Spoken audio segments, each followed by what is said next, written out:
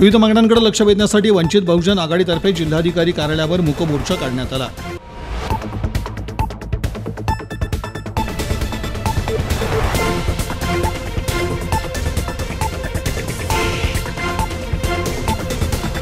येत्या सोळा तारखेपासून राज्यभरातील विविध जिल्ह्यांमध्ये पावसाचा जोर वाढेल असा अंदाज भारतीय हवामान विभागानं वर्तवला आहे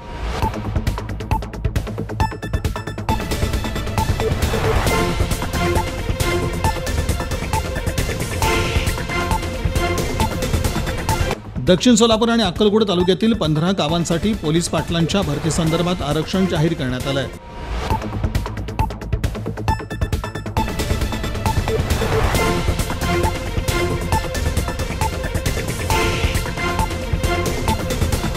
रामवाडी नागरी प्राथमिक आरोग्य केंद्रात मोकाट कुत्र्यांचा सुळसुळाट वाढला असून दवाखान्यातील कर्मचाऱ्यांना कोणतंही सोयरसूतक उरलेलं नाही.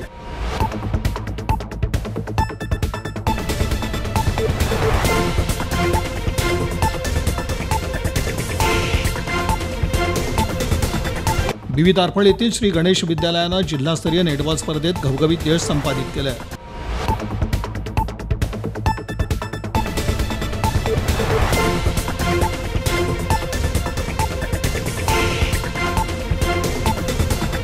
आंतोळीकर नगरात चोरट्यांनी हात की सफाई दाखवत सुमारे तीन लाखांचा ऐवज लंपास केला. अधिक तपास विजापूर नाक्याचे पोलीस करत आहेत.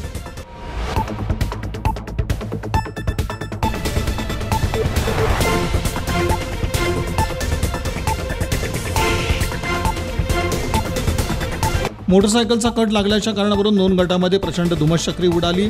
अविनाश नगरातील शिवशक्ती चौकात रात्रीच्या सुमारास ही फ्री स्टाईल हाणामारी झाली.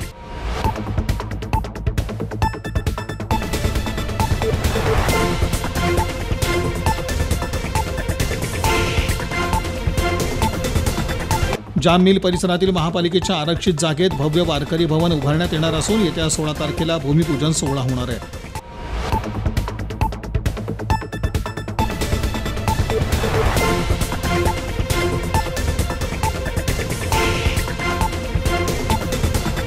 हत्तुरे वस्ती इथं संत सेना महाराजांच्या पुण्यतिथीनिमित्त विविध धार्मिक कार्यक्रमांचं आयोजन करण्यात आलं होतं.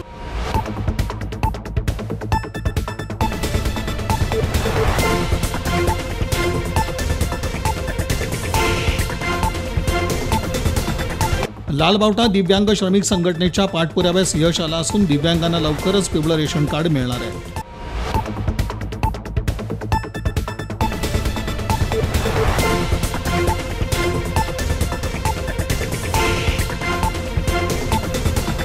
जनतेच्या कामांचा खोळंबा टाळण्यासाठी अधिकारी कर्मचाऱ्यांनी कामावर रुजू व्हावं असं आवाहन झेडपीच्या सीईओ मनीषा आव्हाळे यांनी केलं.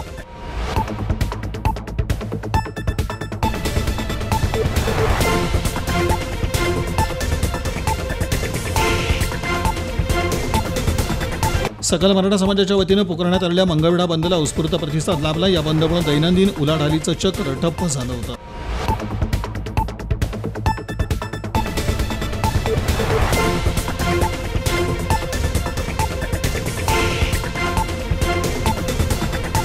उत्तर सोलापूर आणि बार्शी या दोन तालुक्यासाठी पोलीस पाटील पदाच्या भरतीची सोडत नुकतीच काढण्यात आली.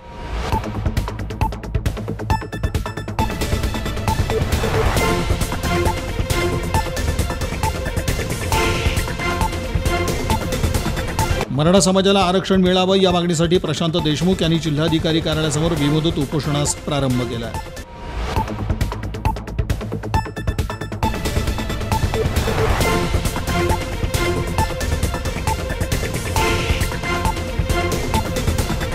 उजनी प्रकल्पग्रस्तांच्या जमिनी मूळ मालकांना माघारी मिळाव्यात या मागणीसाठी जिल्हाधिकारी कार्यालयासमोर आंदोलन करण्यात आलं.